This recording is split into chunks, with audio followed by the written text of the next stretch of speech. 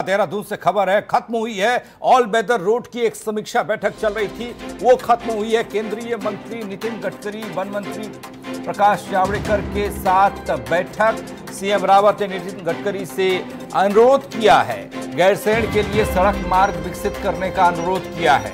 केंद्रीय मंत्री ने दी सैद्धांतिक सहमति। बैठक के बाद तथाकथित पर्यावरण विदों पर जमकर बरसे मुख्यमंत्री Trivendra Singh Rawat. High power committee के अध्यक्ष रवि चोपड़ा पर भी मुख्यमंत्री ने सवाल खड़े किए हैं। कमेटी ने रिपोर्ट देने में देरी की। मुख्यमंत्री ने कहा ऑल वेदर रोड का महत्व कुछ लोग नहीं समझ रहे हैं। ऑल वेदर रोड का महत्व कुछ लोग नहीं समझ रहे। मुख्यमंत्री त्रिवेंद्र सिंह रावत काफ़ी सख्त नज़र आ रहे हैं। देहरादून से खबर खत्म हुई है। ऑल वेदर रोड की समीक्षा बैठक।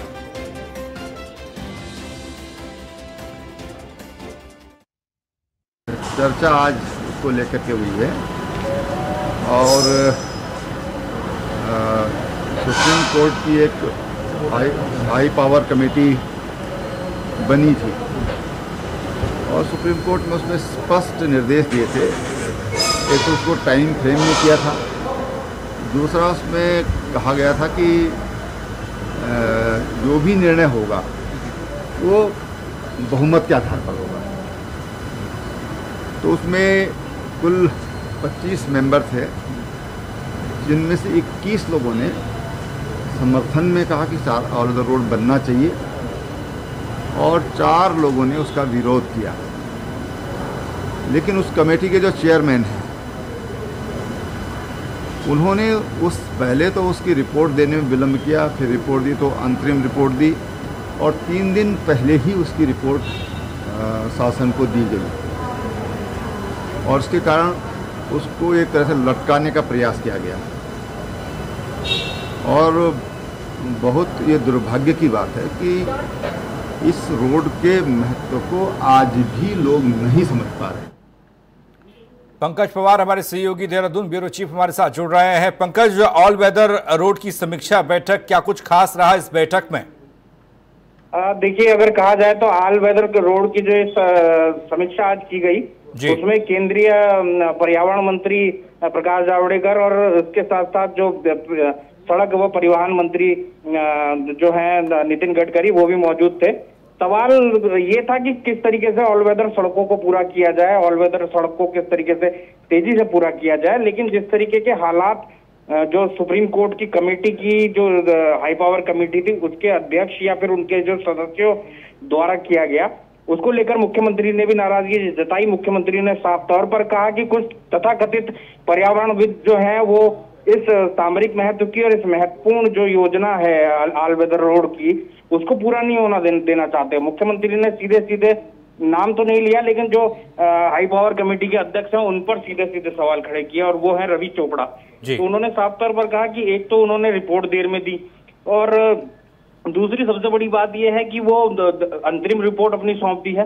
तो उन्होंने साफ़ तौर पर कहा कि जिस तरीके से इसको लेट किया गया है, उसकी वजह से ढाई हज़ार करोड़ से ज़्यादा इसका रेट बढ़ गया है। तो ऐसे में कहीं ना कहीं इसको रोकने की कोशिश की गई। साफ़ तौर पर सामरिक महत्व की सड़क है और उन्होंने साफ़ तौर पर कहा कि इस मामले को समझने की कोशिश नहीं कर रहे हैं कि कितना हमारे लिए ये ऑल वेदर रोड महत्वपूर्ण है। तो कुल मिलाकर समीक्षा बैठक में काफ़ी कुछ हुआ है और ये ये जो है उस पर पर्यावरण विदों पर भी मुख्यमंत्री ने अपना ज़रूर तंज कसा है। पंकज थोड़ा जानकारी ऑल वेदर रोड की अपडेट को लेकर किस तरह से काम चल रहा है? क्योंकि एक लंबा वक्त जब बीतता है तो वक्त के साथ साथ परेशानियाँ ज़्यादा हो जाती हैं चुनौतियाँ ज़्यादा हो जाती हैं। जैसे आपने कहा रेट बढ़ जाता है और तमाम चीज़ें हैं। बिल्कुल आपने सही कहा और अगर कहा जाए तो जो उत्तराखंड में कई ऐसे थोड़े थोड़े पैचेस ज़रूर हैं जहाँ पर काम रुका हुआ है। और जिस तरीके से 2019 तक इसकी डेडलाइन दी गई थी प्रधानमंत्री मोदी के द्वारा, लेकिन अब 2020 आ गया है और अभी 2021-22 तक ये पूरा हो जाएगा, इसका भी अभी तक सवाल बढ़ने हुए हैं। तो कहीं ना कहीं मुख्यमंत्री की तरफ़ से भी और केंद्रीय मंत्रियों की तरफ़ से भी इस पर सवाल खड़े किए गए। कल फिर एक बार फिर बैठक होगी वीडियो कॉन्फ्रेंसिंग होगी इन तमाम लोगों की। और कल इसको लेकर एक और आगे क्या कुछ हो सकता है कि किन और बिंदुओं पर चर्चा की जा सकती है किस तरीके से इसको एक्सेलरेट किया जाए। इन तो तमाम मुद्दों पर कल की बैठक में भी चर्चा होगी।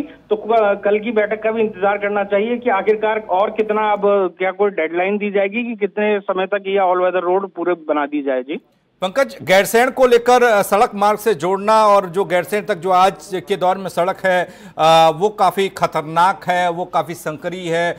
उसको लेकर भी बात हुई है केंद्रीय मंत्री नितिन गडकरी के साथ?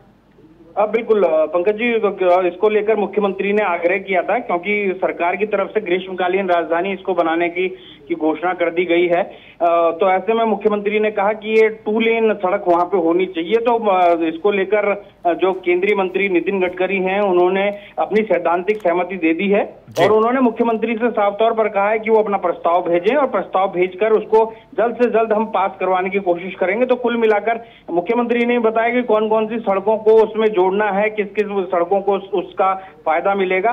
कुल मिलाकर कोशिश यही है कि जो गैरसैन है जो एक तरीके से हब बनाने की कोशिश मुख्यमंत्री की है अब देखना दिलचस्प होगा कि कब तक प्रस्ताव सरकार का जाता है कब उसके तक लिए बढ़िया सड़क होना बहुत ज़रूरी है पंकज। बहुत बहुत शुक्रिया आपका हमारे साथ जुड़ने के लिए तमाम जानकारी के लिए।